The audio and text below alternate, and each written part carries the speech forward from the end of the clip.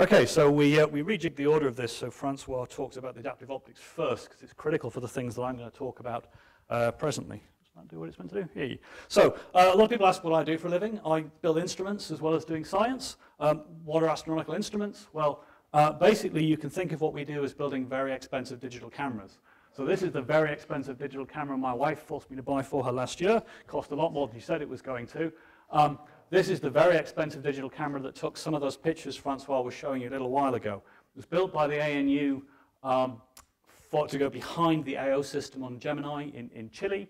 Uh, this cost about $1,000. Uh, these detectors over here cost about a quarter of a million dollars each, and as you can see, we stuck four of them together to make this camera, wrapped it all up inside a package we designed on the mountain, shipped it off to Chile, and put it on the back of the telescope.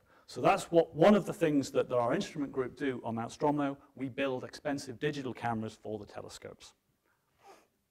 So why do we want pictures? Well, pictures can tell you an awful lot of things about what's going on in astronomy. This is one of my favorite pictures uh, in astronomy. It's a picture of the antenna galaxy taken by one of the cameras on the Hubble Space Telescope.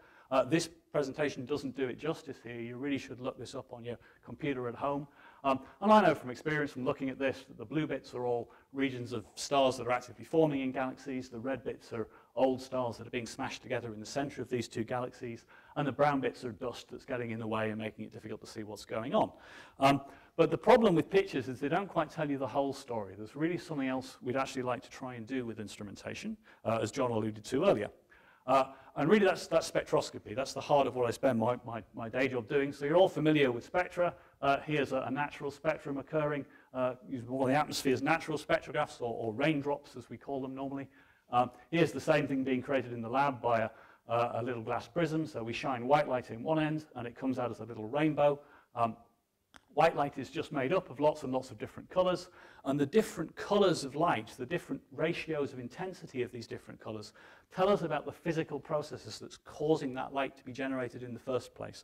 And so by looking at the distribution of light in these sorts of systems, we can tell a lot about the physics of the objects that we're looking at.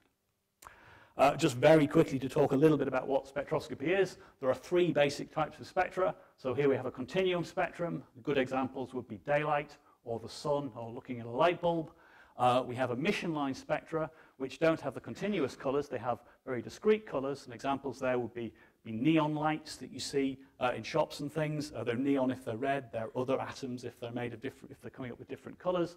Sodium street lights or sodium laser guide stars, as you heard about previously. Uh, fireworks as well, the colors in fireworks come from these uh, emission line spectra of individual elements that are inside the firework, uh, or the Orion Nebula is something that I'd spend most of my time looking at.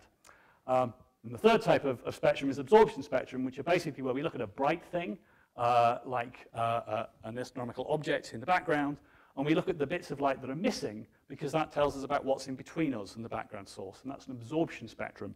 Uh, everyday examples of that is what you'd see if you were to look at clouds with a spectrograph. Uh, so the way to think about spectra is it's the DNA fingerprint of a galaxy. So here we have another galaxy.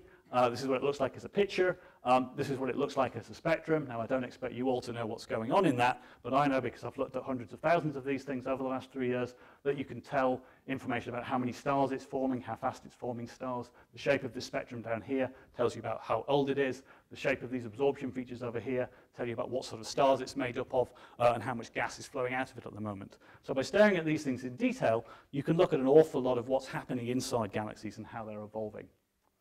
Uh, we also do redshifts with galaxies. Uh, so we did a lot of uh, observations with the instruments that, that, John was talking about, measuring the redshifts for, for, galaxies. We can see here a galaxy that's nearby.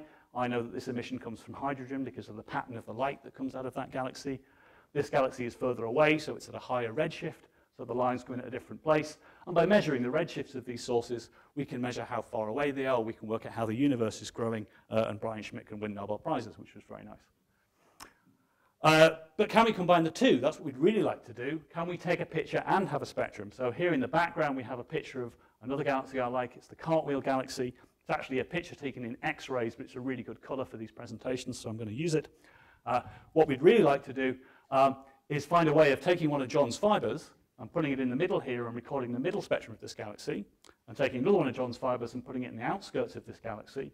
And in the middle, it's bright red, which tells me that it's a very old spectrum full of lots of old stars it formed a long time ago. Uh, and in the outskirts, it's blue, which means it has one of these blue spiky spectra, which means it's full of young stars, it's actively forming stars, and it turns out in this case it's because we just smashed this little galaxy through the middle of this other galaxy, and we can learn the story of what's happening in that galaxy. What we'd really like to do is tile the whole galaxy with little spectra and record a spectrum from every place in that galaxy. So John was talking about measuring individual galaxies all over the sky. I'm talking about measuring one galaxy in enormous amounts of detail. The two are very, very complementary. John's going to find the things for me. I'm going to measure them in detail. We need both, and that's why we build both. So we've been doing this at Mount Stromlo for a very long time. Uh, this is uh, an image of the, the NIFS instrument uh, that went off to Gemini uh, in 2004. Here it is being mounted on the telescope uh, in Hawaii. It's one of Gemini's most productive instruments. It was built on Mount Stromlo, destroyed in the fire, and then rebuilt on Mount Stromlo afterwards. Uh, here's the ANU's uh, own WIFES instrument that's on our telescope up at Siding Spring, uses a lot of the technology that we went into this instrument, uh, and we built our own smaller one for our in-house telescope for the research students to use. Uh, these are, uh, are, now aging instruments. They've, they've had most of their productive life. It's time to build the next generation of these instruments. But what they told us was how to do this right, how to do this properly, and how to scale it up to make this thing. So this is what the optics for this new instrument we're building will look like. I don't expect you to understand what's going on here. I know I don't a lot of the time. Uh, this is what the instrument actually looks like. Uh, you can see that uh, basically uh, computer-aided design packages have moved on quite a lot since we built the first generation of those instruments. To show you what it looks like in a bit more detail, um, it's about two meters across. Um, it's going to weigh about two tons. It has to be sucked down to about a billionth of an atmosphere inside. Uh, we need to cool it down to about minus 200 degrees and keep it there with about 0.1 degree stability. Um, has to have things that move inside it to precisions of about a micron, so the same sort of precision that John was achieving with his fibers. Uh, and the whole thing's going to cost about $25 million when we build it uh, to go on the telescope in 2023.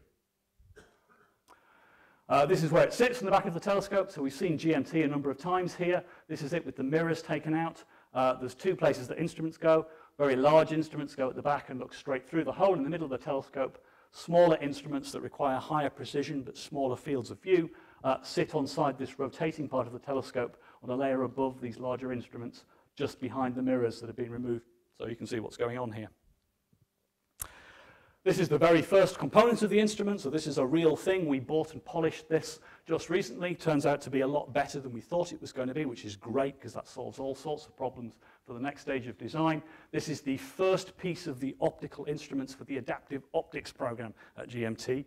They've built some of the primary mirrors already, but this is the first piece of optics for one of the instruments, so we're quite proud of it. What's it going to do? Uh, well, there are a number of science programs that we're trying to achieve with this instrument. Uh, some of them you've heard about before. We're going to try and measure planets around distant stars. Chris has got some excellent programs we'd like to do with that. We can also use my instrument uh, to weigh black holes by measuring how stars in the middle of galaxies move around. We can measure the, the masses of black holes in the center of very distant galaxies. Uh, we can record how star formation works uh, across the distant universe. We can get so far back in time that we can measure most of the star formation over the history of the universe and work out how that fits uh, into the big picture in cosmology. We're hoping to be able to catch gamma ray bursts as they explode at the beginning of time.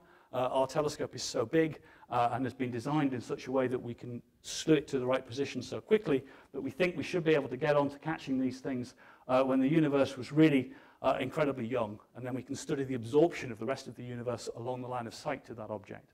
Uh, but most importantly, there's a whole stack of things that we probably haven't thought of yet. And so one of the things we spend a lot of our time doing on Mount Stromlo is making sure that we design an instrument to be flexible so it can do the things that our astronomers haven't thought of right now. I think that's all I had to say.